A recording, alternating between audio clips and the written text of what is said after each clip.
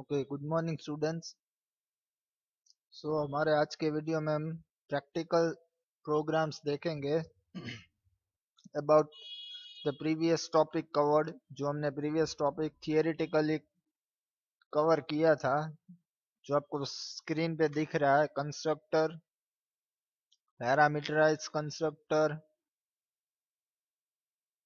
constructor overloading constructor with default argument, copy constructor, dynamic constructor, and destructor. ठीक है? ये जो हमने टॉपिक्स देखे थे प्रीवियस वीडियो में थियरिटिकली अब हम उनके प्रोग्राम्स देखते हैं, उसका कोड कैसे हम इस चीज़ को अप्लाई कर सकते हैं? How to use constructor and destructor in your class ठीक है? और एक इम्पोर्टेंस ऑफ़ डिस्ट्रक्टर एक ये चीज़ बाकी रह गई थी कि क्यों हमें डिस्ट्रक्टर का यूज़ करना पड़ता है। Okay when you use constructor to create object जब आप कंस्ट्रक्टर का यूज़ करते हो ऑब्जेक्ट क्रिएट करने के लिए तो वो क्या वर्क करता? है it allocates memory to those objects ठीक है? जो आपने ऑब्जेक्ट्स क्रिएट करें, करे हुए हैं, उनको वो memory allocate करता है okay now as the new objects are created more and more memory is allocated to the objects जैसे जैसे आप न्यू ऑब्जेक्ट क्रिएट करते हो तो more and more memory means ज़्यादा से ज़्यादा मेमोरी एलोकेट की जाती है at some point this constructors may not be in use कई बार ऐसा वक्त आएगा कि जब कंस्ट्रक्टर का यूज़ नहीं है कंस्ट्रक्टर का यूज़ पूरा हो चुका है। That is in the scope means उसका स्कोप लाइफ उसकी खत्म हो चुकी है। But still they have occupied some memory जब आप ऑब्जेक्ट का यूज़ मीन्स ऑब्जेक्ट क्रिएट करते हो यूजिंग कंस्ट्रक्टर तब उसको मेमोरी एलोकेट की जाती है। ठीक है? फिर आप अपनी जो प्रोसेस होती है, वो प्रोसेस कर रहे हो या प्रोग्राम एक्सिक्यूट हो रहा है, मान लो आपका जो ऑब्जेक्ट है, उसके स्कोप खत्म हो चुका है, उसका वर्क पूरा हो चुका है। धैन टू उन्होंने जो स्पेस ऑक्यूपाई की हुई है, वो as program is in execution वो स्टिल ऑक्यूपाई होगी तो हमें उस चीज़ को मेमोरी को फ्री करवानी पड़ती है। In some systems, the memory is very important, so we have to take care about memory management, ठीक है? कई बार कई systems में memory बहुत ज़्यादा इम्पोर्टेंट हो, उसका मैनेजमेंट कि जो चीज़ का आपका यूज़ नहीं है तो आप अपनी मेमोरी फ्री करो, ठीक है? तो ये जो मेमोरी मैनेजमेंट है, उसके लिए हमें कंस्ट्रक्टर से जो ऑब्जेक्ट किए हुए हैं क्रिएट उनको डिस्ट्रॉय करने के लिए, उनकी जो स्पेस एलोकेट की हुई है, उसको फ्री करवाने के लिए डिस्ट्रक्टर का यूज़ करना पड़ता है। Okay in C plus plus destructors are the solution to this problem ठीक है, इस बात के सॉल्यूशन के लिए हमारे पास सी प्लस प्लस में फैसिलिटी है that is called destructor when an object goes out of the scope, जब भी आपका जो ऑब्जेक्ट है आउट ऑफ़ लाइफ होता है आउट ऑफ़ स्कोप जाएगा तो destructor is called automatically and it releases the memory allocated by the object ठीक है? अगर आपने आपके प्रोग्राम में डिस्ट्रक्टर दिया हुआ है तो जो कंस्ट्रक्टर से ऑब्जेक्ट क्रिएट होते हैं जब भी उनकी लाइफ खत्म होगी डिस्ट्रक्टर ऑटोमेटिकली खुद कॉल होगा और उस ऑब्जेक्ट की जो मेमोरी स्पेस है, वो फ्री करवा देगा। तो उससे क्या होगा? Thus it saves the unnecessary memory allocated to the object which are not in the scope उससे क्या होगा? जो आपकी अननेसेसरी मेमोरी ऑक्यूपाइड है उसको वो फ्री करवा देगा। जो भी ऑब्जेक्ट आपका आउट ऑफ़ स्कोप हो गया है, उस वहाँ से। The destructor destroys the object ठीक है? कंस्ट्रक्टर क्या करता है? Constructor construct the object and destructor destroys the object इसीलिए उनका नाम कंस्ट्रक्टर और डिस्ट्रक्टर है। कंस्ट्रक्टर का मीनिंग मैंने आपको प्रीवियस वीडियो में भी समझाया था। कंस्ट्रक्ट मीन्स कुछ बनाना कंस्ट्रक्ट करना। यहाँ पे सी प्लस प्लस में कंस्ट्रक्टर का मीनिंग अगर हम देखें तो वो ऑब्जेक्ट को क्रिएट करने के लिए हम कंस्ट्रक्टर का यूज़ करते हैं। ठीक है? Same way destructor destructor means destroy किसी भी चीज़ को तोड़ना डिस्ट्रॉय करना। ठीक है? तो डिस्ट्रक्टर का नाम डिस्ट्रॉय के लिए रखा गया है। वो क्या करता है? वो आपके ऑब्जेक्ट को डिस्ट्रॉय करता है by releasing memory allocated by the constructor if it is in the constructor अगर आपने कंस्ट्रक्टर से कोई भी ऑब्जेक्ट कंस्ट्रक्ट किया है तो उस चीज़ को आपका डिस्ट्रक्टर डिस्ट्रॉय करता है। The memory is allocated by new keyword जो मेमोरी है आपकी, वो किस, कैसे एलोकेट होती है? न्यू कीवर्ड के यूज़ से। It should be deleted by delete keyword in destructor ठीक है? जैसे न्यू कीवर्ड से मेमोरी एलोकेट होती है, वैसे ही डिलीट कीवर्ड से आपकी जो मेमोरी स्पेस है एलोकेट हुई, वो डिलीट कर सकते हैं। डिलीट कीवर्ड से इन डिस्ट्रक्टर डिस्ट्रक्टर के अंदर। तो ये इंपॉर्टेंस था ऑफ़ डिस्ट्रक्टर ये हमारा यूनिट नंबर टू के जो थियरिटिकली टॉपिक्स थे, वो मोस्टली कवर हो चुके हैं। प्रोग्राम्स भी हमने मोस्टली टॉपिक्स के देख देख लिए हैं, ठीक है?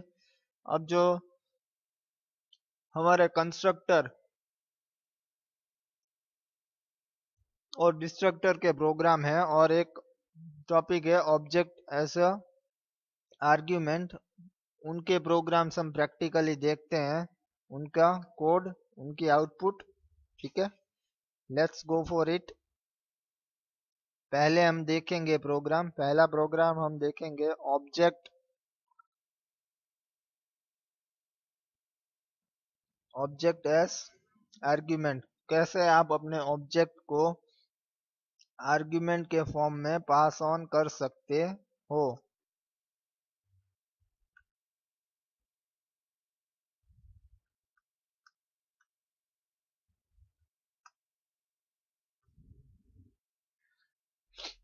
ये आपको कोड दिख रहा है ऑन स्क्रीन ये जो प्रोग्राम है आपका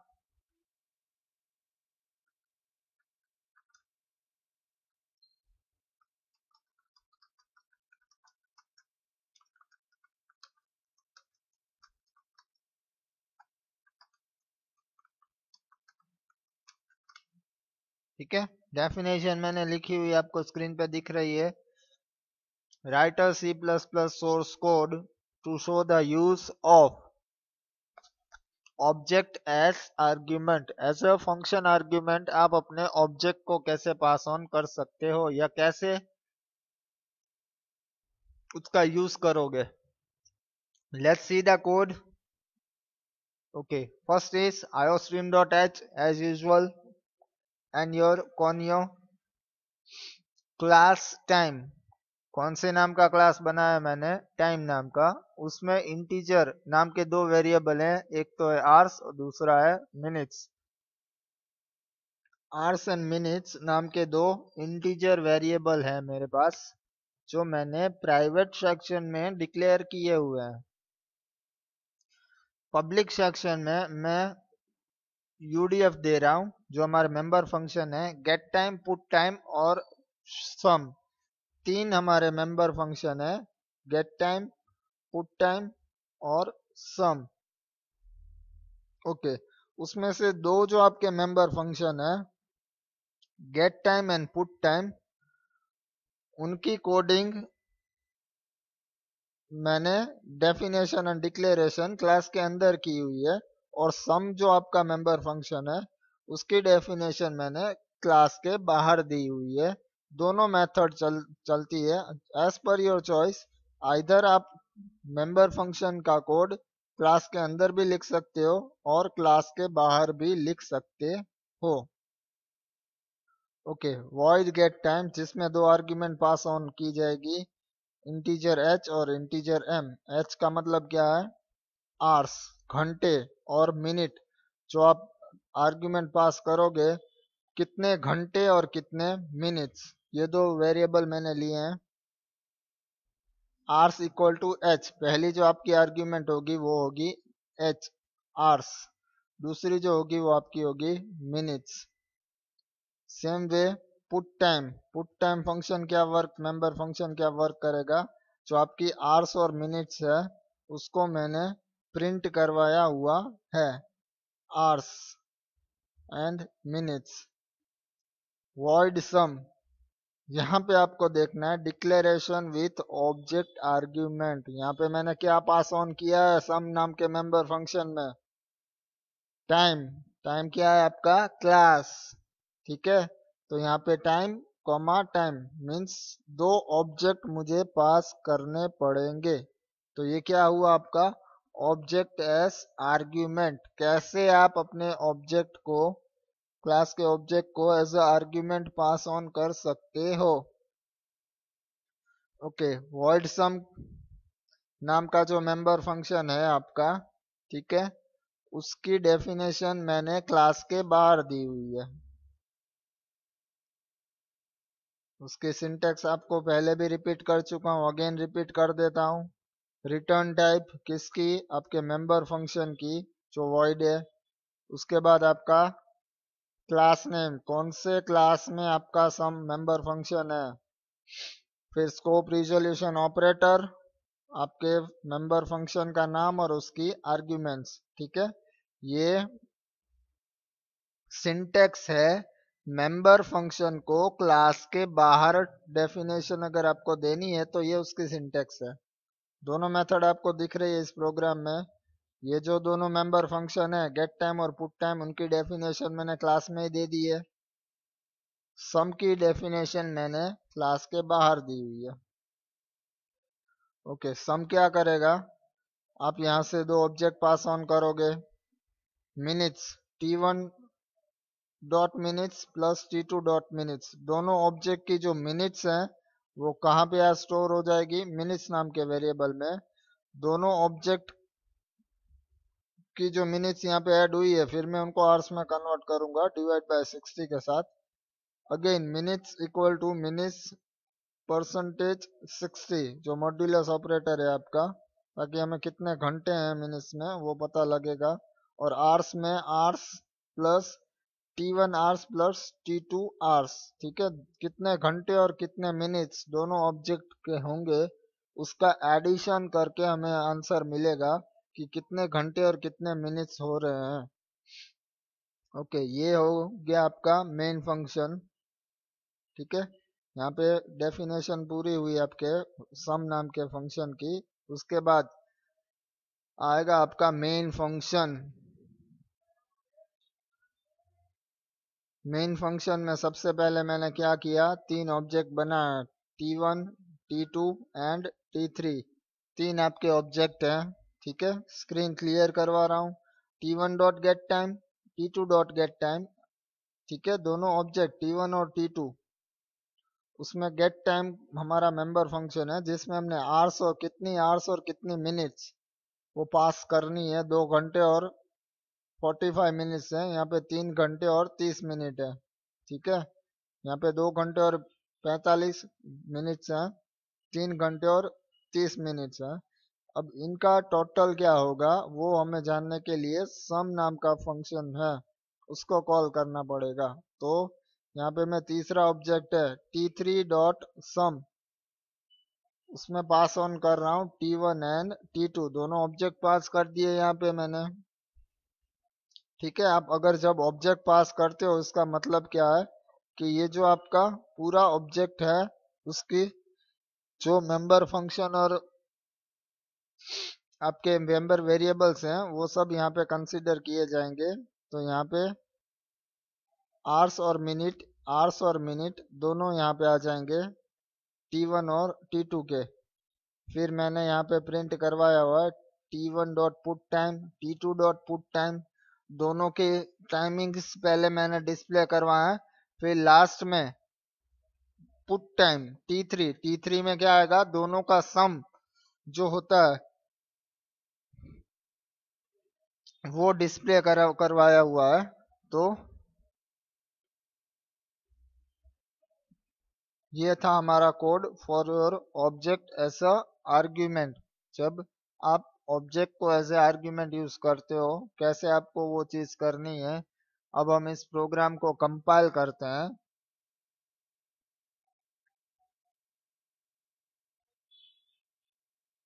ये हो गया आपका प्रोग्राम कंपाइल ठीक है? एरर नहीं है, इसका मतलब आप आउटपुट चेक कर सकते हो। Let's see the output okay t1 equal to two hour and forty five minutes t1 में हमने क्या इनपुट दिया है? दो घंटे और पैंतालीस मिनट t2 में हमने क्या इनपुट दिया था? तीन घंटे और तीस मिनट्स तो टोटल आपके क्या हो गए? ठीक है? मिनट्स कितने हुए यहाँ पे? दिख रहे हैं आपको? Six hours and fifteen minutes. तो ये था आपका आउटपुट। कोड मैंने आपको दिखा दिया, आपको एक्सप्लेन कर दिया कि कैसे आप अपने ऑब्जेक्ट को एज ए आर्ग्यूमेंट यूज़ कर सकते हो।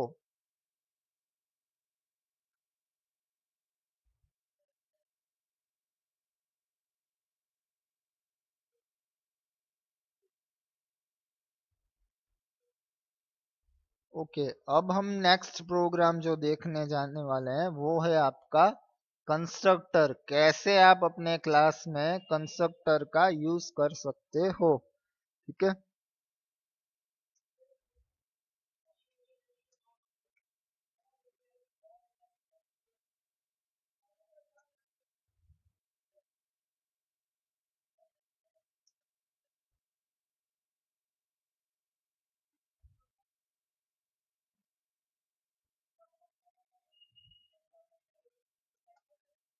यहाँ पे मैं पहले डेफिनेशन लिख देता हूँ।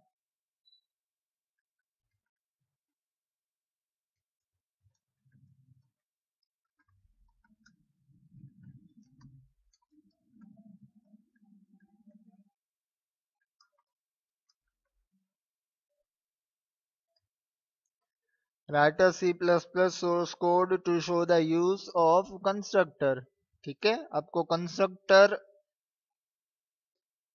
कैसे डिक्लेयर करना है और कैसे यूज़ करना है, वो हम प्रोग्राम में देखेंगे। थियरिटिकली हम कवर कर चुके हैं कंस्ट्रक्टर का मतलब क्या है? अब हम प्रैक्टिकली देखते हैं how to use your constructor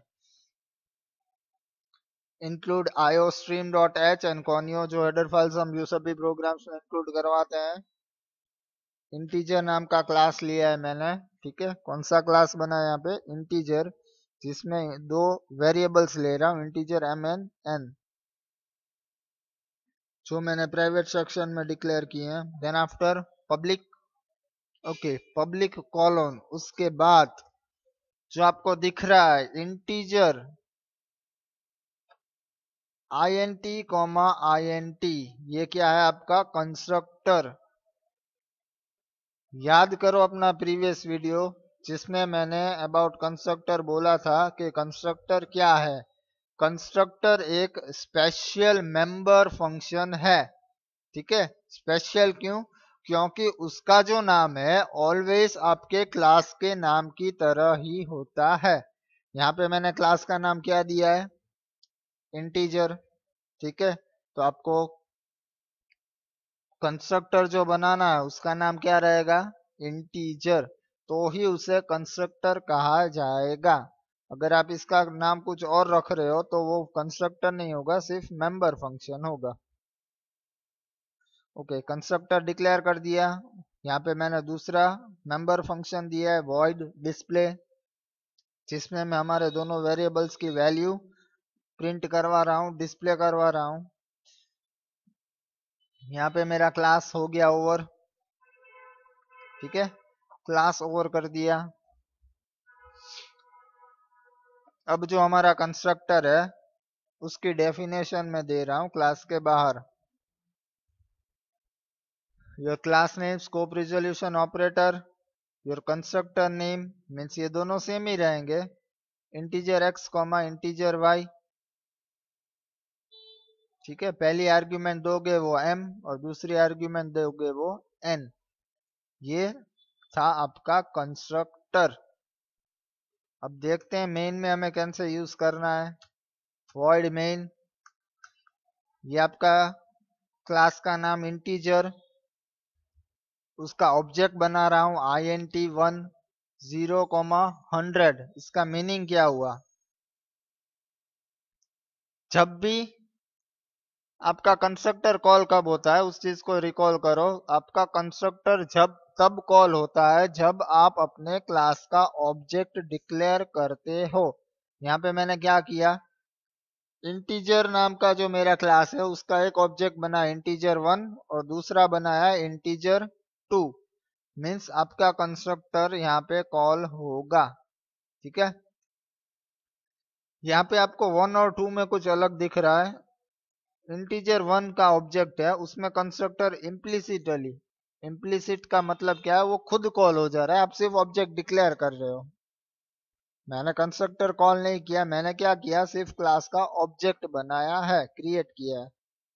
दूसरी जो मेथड है integer I N T two equal to integer और उसकी आर्ग्यूमेंट जैसे हम मेंबर फ़ंक्शन लिखते हैं और उसकी आर्ग्यूमेंट ऐसे यहाँ पे मैंने कंस्ट्रक्टर कॉल किया। ये भी मेथड है। कंस्ट्रक्टर को आप एक्सप्लिसिटली मीन्स आप खुद भी उसको कॉल कर सकते हो, या आप अपने क्लास का ऑब्जेक्ट बनाओ, तब भी वो कॉल हो जाएगा।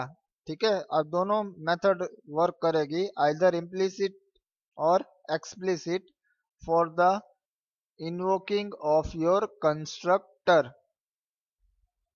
screen clear करवा यहाँ पे। सी आउट ऑब्जेक्ट वन फिर डिस्प्ले ऑब्जेक्ट टू फिर डिस्प्ले फ़ंक्शन ठीक है? तो ये था आपका कंस्ट्रक्टर का कोड अब हम इस प्रोग्राम को कंपाइल करेंगे।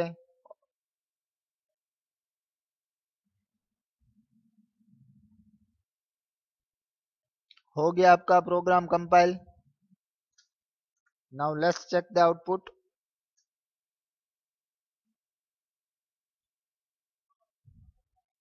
there it is. Your output, object 1 object 2 0 comma 100 25 and 75 ठीक है? 0 comma 100 ये देखो आपका पहला।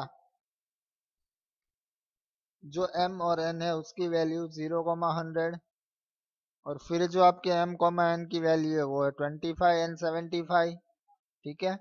वही आउटपुट है आपका.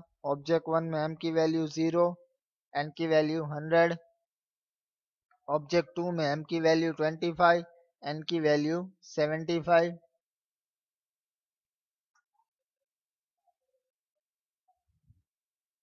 तो ये था आपका code for your constructor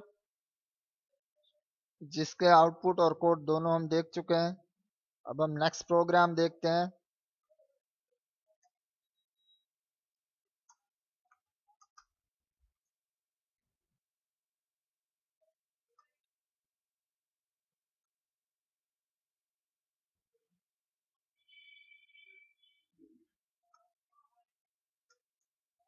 okay. Guess कौन सा प्रोग्राम होगा ये आपका? Write a C plus plus source code to show the use of the destructor ठीक है? कंस्ट्रक्टर का प्रोग्राम हम देख चुके हैं, अब हम डिस्ट्रक्टर का प्रोग्राम देखेंगे। कैसे हम डिस्ट्रक्टर का यूज़ कर सकते हैं ताकि थियोरिटिकली हमने डिस्कशन किया है, वो रिवाइज भी हो जाए और आप अपने प्रोग्राम्स के आउटपुट भी चेक कर पाओ। इसकी पीडीएफ यूनिट नंबर टू की मैं आपको दूँगा, जो आपको सीधी जर्नल में लिखनी है। कौन कौन से प्रोग्राम लिखने हैं, उसकी डेफिनेशन ठीक है? आपको क्या करना है, वो पीडीएफ में से आपको आपकी जर्नल में प्रोग्राम्स लिखने हैं with definition and output okay let's go through the code iostream.h and conio.h your header files. Integer count that is your global variable एक ग्लोबल वेरिएबल ले रहा हूँ काउंट नाम का। जिसकी वैल्यू है ज़ीरो कौन सा क्लास बनाया यहाँ पे मैंने? अल्फ़ा अल्फ़ा नाम का क्लास बना क्रिएट कर रहा हूँ।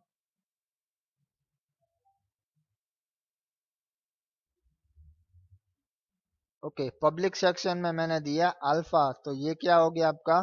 कंस्ट्रक्टर ठीक है? क्लास का नाम क्या है? अल्फ़ा यहाँ पे भी मैंने मेंबर फ़ंक्शन दिया है, उसका नाम भी क्या है? अल्फ़ा तो ये क्या हुआ आपका? कंस्ट्रक्टर जिसमें मैंने काउंट नाम का जो ग्लोबल वेरिएबल है, वो प्लस प्लस करवाया है, और उसकी वैल्यू प्रिंट करवाई हुई है। ओके व्हाट इज़ दिस क्या है ये? ये है आपका डिस्ट्रक्टर डिस्ट्रक्टर है, ये कैसे पता चलेगा? क्योंकि उसका नाम भी क्लास की तरह ही होता है, पर आगे क्या आता है उसके? Tilde sign it is preceded by tilde sign ठीक है? कंस्ट्रक्टर के आगे जो आपको टिल्ड साइन यहाँ पे दिख रही है, उसकी वजह से पता चलता है कि ये क्या है आपका? डिस्ट्रक्टर वरना तो आप देखोगे तो कंस्ट्रक्टर और डिस्ट्रक्टर में कोई फ़र्क नहीं लगेगा आपको। दोनों के नाम अगर सेम होंगे तो ठीक है? उसमें डिफरेंस क्या है कंस्ट्रक्टर और डिस्ट्रक्टर में? कि उसके आगे टिल्ड साइन आती है, ठीक है? अगर आप कोड वाइज देखो तो तो ये आपको दिख रही है टिल्ड साइन उसके बाद नाम आएगा डिस्ट्रक्टर का। उसका नाम भी क्या होता है? Same as class name destructor कब कॉल होता है जब आपके क्लास का ऑब्जेक्ट आउट ऑफ़ स्कोप हो जाता है, तब आपका डिस्ट्रक्टर कॉल होता है। Okay, your main function, screen clear करवाई, मैसेज इनपुट करवाया, मैसेज डिस्प्ले करवाया, एंटर मेन। ओके, मेन के अंदर, यहाँ पे मैंने क्लास के ऑब्जेक्ट बना रहा हूँ। A one A two A three and A four चार ऑब्जेक्ट मैंने क्लास के बनाए हुए हैं। A one two three and four okay फिर यहाँ पे कर्ली ब्रैकेट के अंदर मैंने मैसेज प्रिंट करवाया और उसके अंदर अल्फ़ा ए फाइव मीन्स पांचवा जो ऑब्जेक्ट है आपका वो उसके अंदर क्रिएट किया हुआ है। पहले क्या होगा? ये चार ही ऑब्जेक्ट क्रिएट किए होंगे। उसके बाद उस स्कोप के अंदर मीन्स यहाँ पे कर्ली ब्रैकेट का यूज़ किया है। मीन्स जो इसका स्कोप है, वो सिर्फ़ इस कर्ली ब्रैकेट के अंदर ही है। तो यहाँ पे पांचवा ऑब्जेक्ट क्रिएट किया है ओके अगेन नया कर्ली ब्रैकेट स्टार्ट कर रहा हूँ, जहाँ पे मैंने मैसेज डिस्प्ले करवा एंटर ब्लॉक टू वहाँ पे मैं अपना सिक्स ऑब्जेक्ट क्रिएट कर रहा हूँ और फिर कर्ली ब्रैकेट ओवर कर रहा हूँ। तो इस ऑब्जेक्ट का स्कोप है, कहाँ तक होगा? यहाँ तक। यहाँ पे ये फाइव और सिक्स इन दोनों के स्कोप लिमिटेड है, ठीक है? कर्ली ब्रैकेट में, क्योंकि बाकी के जो आपके चार ऑब्जेक्ट हैं, उनका स्कोप ए फाइव और ए सिक्स से ज़्यादा होगा, क्योंकि वो यहाँ पे मेन में ऊपर डिक्लेयर किए हुए हैं, और ये जो है आपके इन कर्ली ब्रैकेट्स के अंदर है मीन्स इनकी लाइफ एस पर A one two A four कम होगी, ठीक है? री enter main block gate C H तो ये था आपका कोड फॉर योर डिस्ट्रक्टर और डिस्ट्रक्टर का यूज़ क्या होता है? To destruct your objects which are created by your constructor okay let's compile the program no error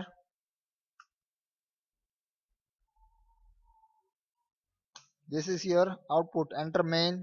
One two three four object created ठीक है? उसके बाद हमने कर्ली ब्रैकेट किया था। उसके अंदर हमने ऑब्जेक्ट फाइव क्रिएट किया था। ये चीज़ आप देख सकते हो कि ऑब्जेक्ट फाइव यहाँ पे क्रिएट किया और अगेन यहाँ पे डिस्ट्रॉय हो चुका है। ओके यहाँ पे एक चेंज कर देता हूँ। सिक्स जो डिस्प्ले करवाया है